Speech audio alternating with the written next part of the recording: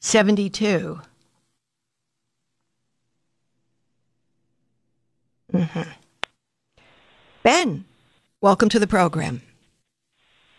Hi, Dr. Laura. Really nice to talk Hi. to you. Thank you. What's up? Um, I have what's, uh, I think, a pretty quick and easy question. I just was really uh, loving your advice to the mom with the twin, the twin three-year-olds and the, the stickers and the competition. You know, Mm-hmm. And I wondered if you are someone such as myself with one three-year-old, and competition can't be contingent on that. Is there something like that that you can do for just general? Yeah. You know, doesn't want to go to the called with the clock. doesn't Want to put on They compete shoes. against. They compete against a clock. If you can Okay, get the dishes in more? What do you there within five seconds, and here's the thing: look at them. One, two, three, four, five. Okay, so now I'm going to go three, two, one, start. If you get in the, you get a sticker, and if you get eight stickers a day, you get a special surprise out of this bag. Oh, okay. So it's still competition. Yeah, just against the clock. Yeah, just against we the clock. humans are more motivated. You know, if you're a runner, you tend to run faster if somebody's running next to you.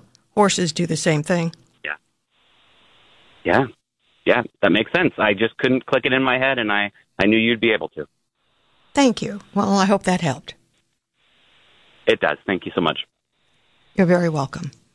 I like turning these things into fun. Okay, I'm going to count backwards to three. Let's go. Three, two, one, go.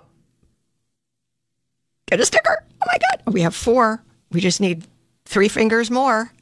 Three, depending on their age. Three more. And then you get something out of the grab bag.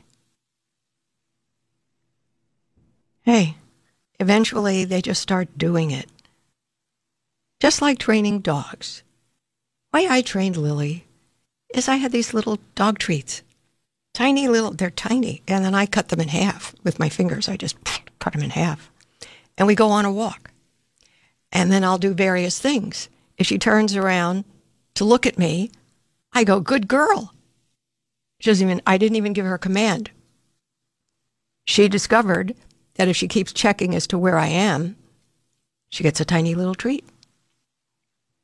And then cars pass. And in my neighborhood, I walk her off leash on purpose. One, so she can act like a dog, go up and sniff everything. And number two, to gain control over her off leash. So first you do it with a long line and all that stuff. So anyway, so I'll, if a car is coming all the way down the block, I go, stop. She turns around, looks at me, and sits and doesn't move till the car passes. Then I give her, oh, you're such a good girl. And I give her another treat.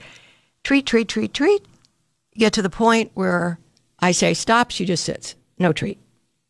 I don't always give the treat. And she just does it out of familiarity.